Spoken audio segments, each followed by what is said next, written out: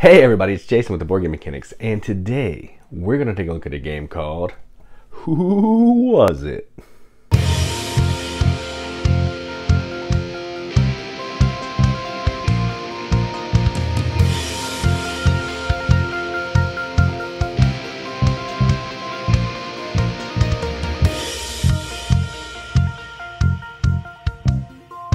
Who Was It is a game from Ravensburger and Dr. Reiner Knizia.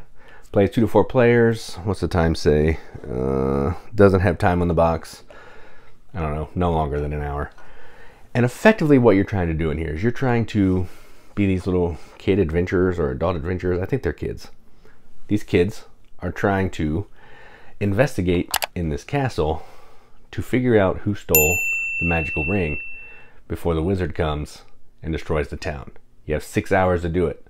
So the way that works is you're going to be rolling this die, you're going to be moving your pawn to rooms, asking questions, feeding the animals so they'll give you some hints, clues to who the suspect is, to ultimately figure out who the suspect is to open their chest and find the ring. That's enough talking about it. Let's go on the table. Check it out. All right, so here's a game of Who Was It all set up for two players. So to set up, you're going to put the board out in the middle. You're going to put the appropriate door spaces to match the art. So I've done that. There's one here, here, here, and there. I'm going to put the ghost in the courtyard, and you're going to put these two people in the nursery. And then you're going to lay out all of the suspects here, cat board here with the food tokens here and the keys off to the side. Get the die, and then you're going to have to prepare the jewelry box. So first thing you have to do is take this out, put the key or the ring down on the bottom like that put batteries in it if you haven't done that. Then put this in, and then we're going to start it up. So I'm going to try to make sure you can hear it, so let's start it up. Meow. Children of the castle, listen to me. Only you can save the kingdom before the evil wizard appears at six o'clock. There is not much time. Come on, hurry up. All right, so that's the intro.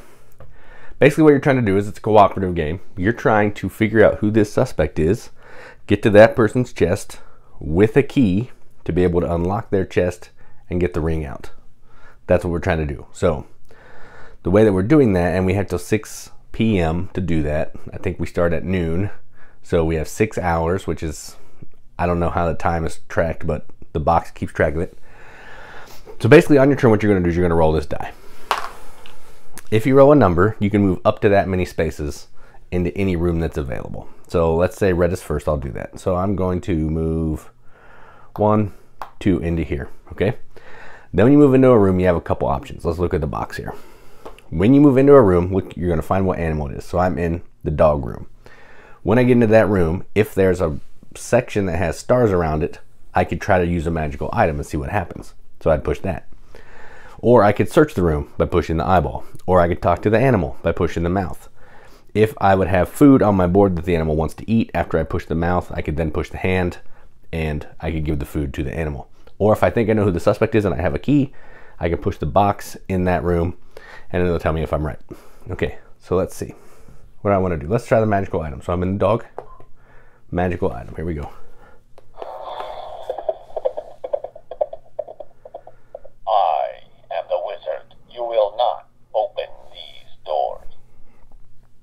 All right, so the magical item didn't let me do anything. The wizard put a stop to that. So that's my turn. Now it's Blue's turn. They'll roll. They have a two. They're going to go the other way. So let's go one, two. They'll go down to the stables. They will do horse and search. You found the apple. So we found an apple in there. So that goes onto this board. We can have two fruit or two food at a time, as many keys as we want. Any additional food that we find will go in the pantry once we spend one, then we can take another from the pantry and put it on our board. All right, so that was their turn. Back to red. Two. One, two. Let's do the goat or donkey, and we'll look around. You found the cherries. So we found cherries. All right, so we need to find out which animals want to eat cherries and apple. All right, blue's turn. Four. You can't go where the ghost is. They'll go into nope, they'll go into this one, and they will dog, and they'll see what they want to eat. I would like bread. So the dog wants bread. Uh oh, and now it's one o'clock.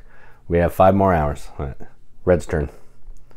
Four. Let's go to this room, and I will. Feed me the cherries. All right. So we have cherries. So now we push the hand. I saw that. The thief Cherries. Well done. This eliminates two of the suspects.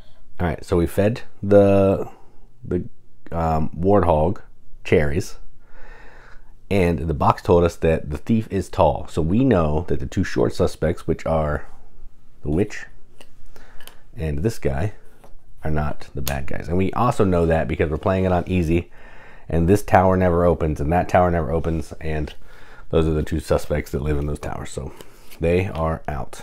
So we know it's not them. So now we have 10 more to look at or eight more to look at. Okay, that was red's turn. Blue. Two will go here, and that is goat. You found a carrot. Found a carrot. Okay.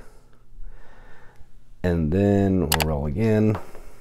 Oh, the ghost is moving. When the ghost moves, when you roll this face, the ghost moves to the next room connected by the ghostly lines. Still red's turn. Uh oh. Ghost moves here, captures red, flies red over to the nursery. And now red can move two. They'll go into the snake room. Let's talk to the snake. All right, so snake. You found the bread. So we found the bread. So the bread goes in the pantry. Actually, let's, yeah, I know that the bread is for the horse. We just got to get something else gone. All right. Blue's turn. Let's go one, two, three. Let's use the magical well. So horse magic. I am the fairy. The water from the well will refresh you. Take another turn. So blue gets another turn. One. They'll go to the courtyard and they will look around. You found the nuts. So we have nuts now in the pantry, so bread and nuts. Okay, red's turn. They'll move one. They will. You won't find anything here. Search in the knight's armory. Search in the great dining hall. So here and here is where we need to go. am the fairy. I will help you. Take another turn. So blue gets another turn. Three. So let's go. One. Let's see what the donkey wants to eat.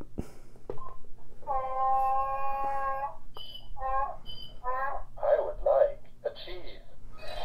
The donkey wants cheese. We don't have cheese. fairy. I will help you. Take the key. Ooh, we get a key. Fairy gave us a key.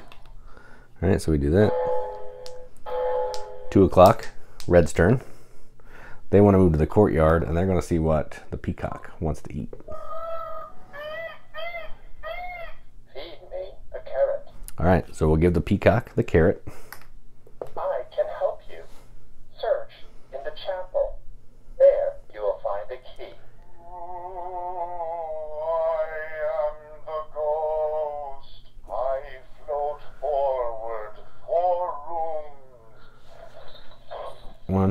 Three. Oh man, the ghost is in the chapel now. Your turn is over. All right, Blue's turn.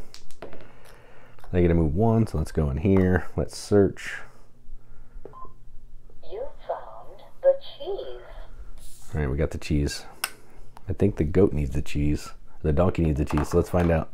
Let's move right into here. Donkey. Feed me the cheese. We'll give the donkey the cheese. I saw that. The thief is thin. Well done. All right, so we know it's not this character Two of the suspects. or this character. All right.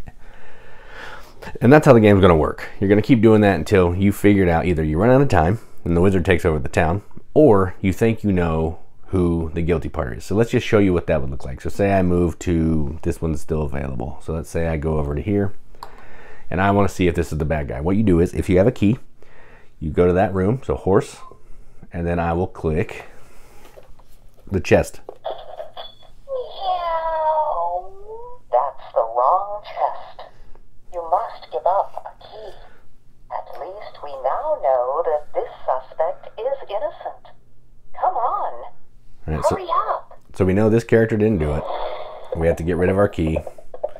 And then I am the wizard. The wizard will shows never find the ring.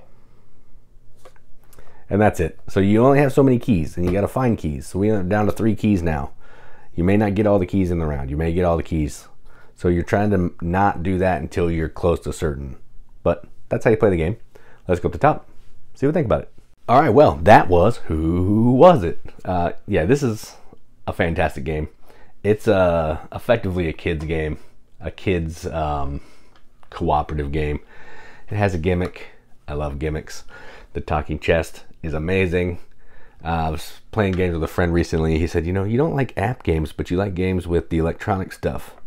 What's the difference?" It's like I, I don't honestly know if there is a difference, but I just like what this stuff does better. Like Electronic Mall Madness. If there's a, an electronic gimmick in it, I want it.